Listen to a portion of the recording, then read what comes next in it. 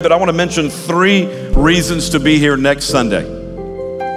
All right? Can I give you three reasons to be here next Sunday?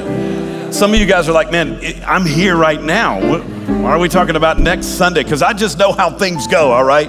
We've got a huge water baptism weekend uh, here at the Mid South, all of our Mid South locations. So, hey, if you've never been water baptized, uh, now is the time. And we've got literally dozens and dozens, probably hundreds of people that are going to be water baptized across all of our locations.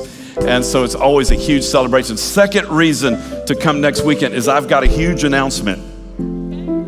I got a big announcement. I'm making a big announcement next Sunday. I wish I could this Sunday, but it will be next Sunday. So you got to be here and uh, you can be the first to hear about something that will impact all of us as a church. It's beautiful, it's amazing, it's awesome.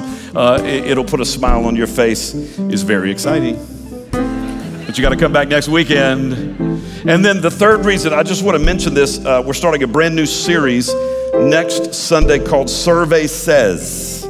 Survey Says. We're going to talk about standing for truth in a world of popular opinion.